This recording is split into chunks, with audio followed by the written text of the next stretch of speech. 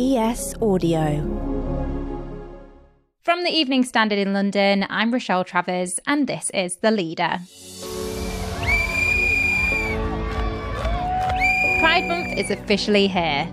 Taking over the calendars every June, there are loads of events, festivals, exhibitions, and more, all celebrating the LGBTQ community. London is considered one of the best places in the world for Pride, and here to explain why, plus give you her top picks of things to see and do, is El Hunt, culture writer for the Evening Standard. The history of Pride dates all the way back to 1970.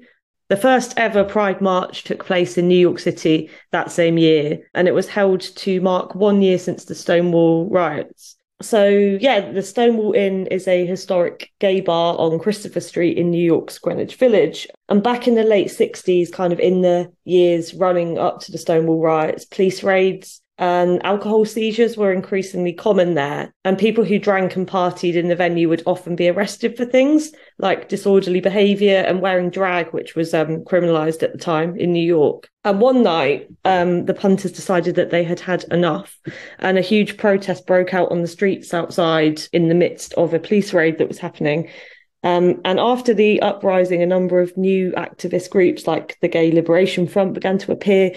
And it all seemed to really kind of galvanize the queer community to fight back um, and campaign for equality. So, yeah, the following year, a bunch of these activist groups that kind of sprung up in the aftermath of the Stonewall riots organised Christopher Street Liberation Day, which is now remembered as the very first Pride March. Mm and of course now pride is kind of this global event. Um, the first march took place in london in 1972 and similar parades and festivals now take place all around the world to celebrate the lgbtq plus community. Pride month itself runs through june every year and then a whole bunch of kind of parades and celebrations take place around that sort of throughout the summer. So in august you'll have brighton pride um, and then London's biggest Pride parade typically takes place on the nearest Saturday to the anniversary of the Stonewall riots. Um, so this year it's on July the 1st. London is considered one of the best places in the world for Pride. Why is that? I would say probably because London is one of the biggest cities in the world and probably one of the best cities in the world in terms of the diversity of its kind of queer scene. It knows how to put a party on.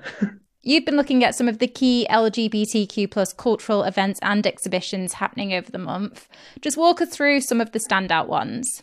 Sure. So for me, one of my standouts is definitely we slash us um, at Space Station 65 in Kennington. So that's a exhibition which celebrates working class butchers and studs with a series of portraits by the photographer Roman Manfredi. There's not much time left to catch it because it closes on June 3rd, but if you can squeeze it in, it's definitely worth your time. And otherwise, you know, even if even if you don't manage to get down this weekend, Space Station 65 is just generally a really fantastic gallery and it's kind of quietly becoming a real hotspot in London for really fascinating exhibitions which do tend to lean towards kind of exploring different facets of the lgbtq plus community. So another another kind of thing that's happening to celebrate pride month that we've spotlighted is a kind of treasure trail that's been organized around the british museum which kind of takes anyone who follows it on a little tour of all these sort of artifacts that have interesting connections to different aspects of queer history basically. So you know there's sections on the poet sappho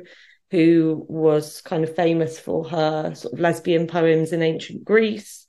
You know, there's a wine cup which is covered in different scenes of sort of male lovers, which was actually banned from being displayed in museums in the 20th century and has now kind of been taken out of hiding and, and put to the forefront. The Globe Theatre is also doing sort of guided tours to explore kind of what queerness would have looked like in Shakespeare's day, which feels like a really interesting um, kind of route to go down. And obviously, Shakespeare's plays have a lot of kind of sort of gender fluidity in them, plays like Twelfth Night. Um, and that's also going to be kind of explored in the guided tour as well. So I think that could be a really interesting way of, you know, looking at a really iconic London venue for theatre through slightly different lens. Another really cool event to check out would be Tate Britain's Queer and Now, which is a big takeover on June 10th, sort of fresh from its shiny new rehang. So they'll be showcasing kind of LGBTQ history and culture with a, a, big takeover that kind of draws on the queer themes in their current exhibitions. So they've currently got two exhibitions with the installation artist Isaac Julien and then the radical Rossetti generation. And sort of alongside that, the gallery will host free performances, pop up talks, workshops, family events, DJs, artist readings, all sorts of different things. And that's all day on June the 10th.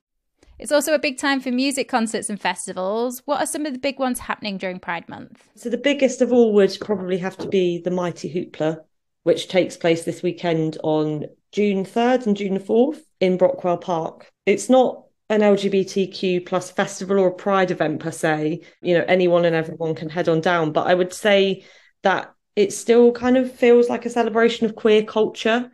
The organisers who used to run the incredible drag night Sink the Pink have really spent a lot of time and care on creating this really fun inclusive vibe at the festival. And along with kind of heaps of pop acts, old and new, sort of from Sophie Ellis Bextor to years and years, you'll find there's loads of incredible drag, cabaret, comedy, sing alongs, often hosted by these really talented queer performers.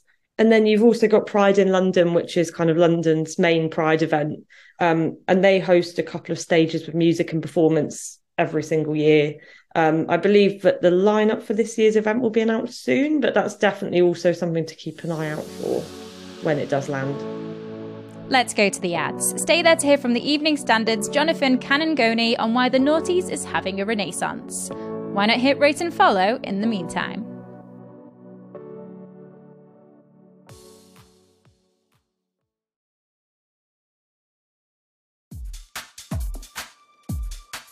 The Noughties, a time of flip phones, teen angst TV dramas, questionable fashion choices, and unforgettable pop bands.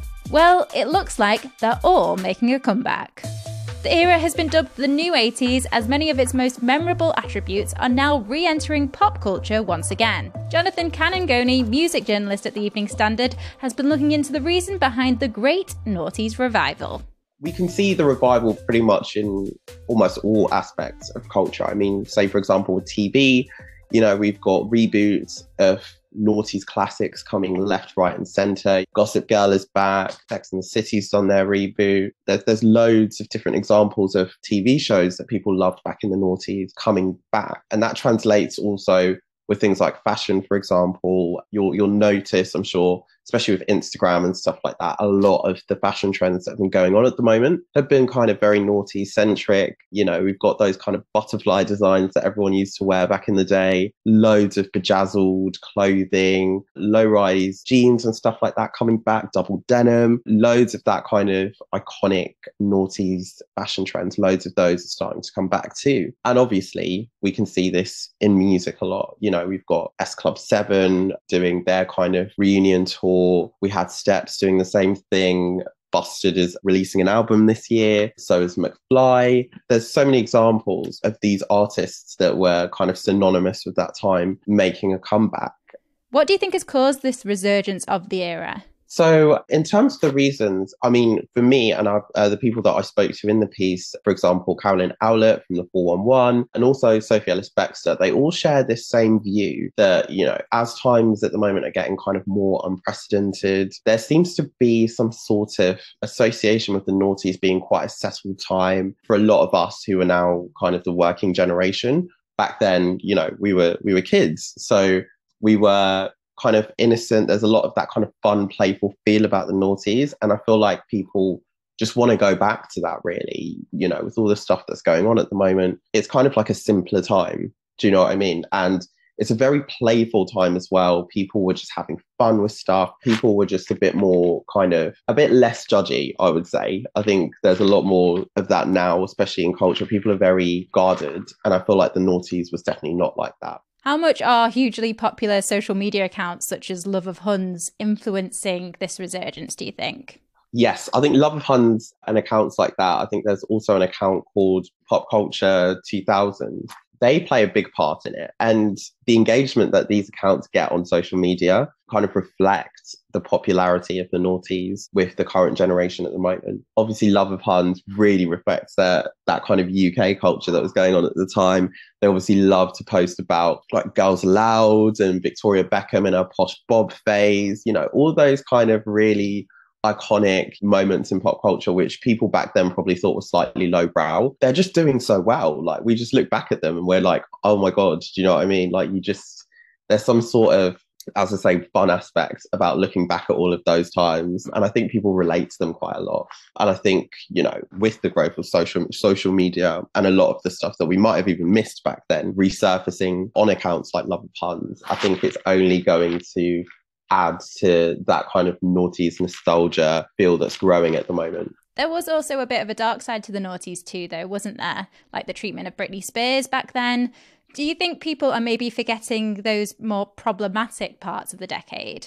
This is a tricky one because obviously, yes, the noughties is really, really synonymous with that kind of um, press intrusion and kind of tabloid culture aspect of, of the media. And we saw that with Britney Spears, but we've also seen it with other figures like Lindsay Lohan, for example, who was absolutely hounded by the tabloids back then. I would like to feel as though because we've moved on as um, as society, uh, and especially in the media, we've learned a lot from the mistakes that happened back then. I'd like to feel like that might be the reason why those types of aspects are not really kind of looked at too much in terms of this this building kind of nostalgic factor but at the same time obviously you know with some of these social media accounts some of them are looking back at those times with a bit of affection i mean you know lindsay lohan's mugshots have become iconic now even though obviously at the time it's probably really distressing for her and kind of showed those aspects of the media and press intrusion that we didn't like. I feel like now, hopefully, because we've um,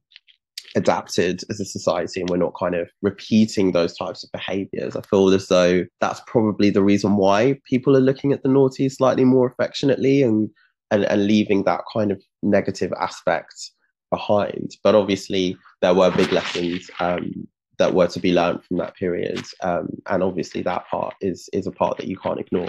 Do you see this naughties trend continuing for the foreseeable future?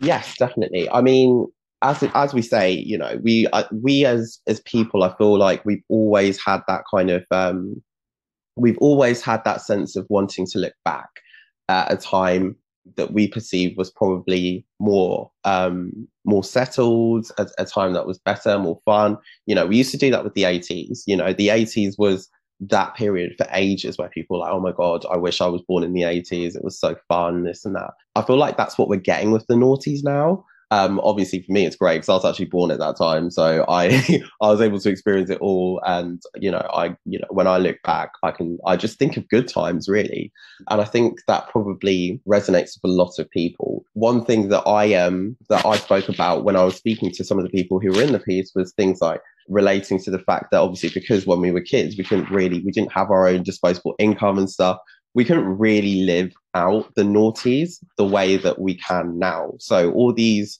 artists that are doing their revivals and stuff like that, for us, it's like we actually get to afford to go to these shows now. We can go and see S Club 7 and stuff, which we probably didn't do back then because, you know, it was mum and dad who had to decide that. You can read more about Pride Month and the Great Noughties Revival on our website, standard.co.uk. And that's it from this episode of The Leader. This podcast is back on Monday at 4 pm.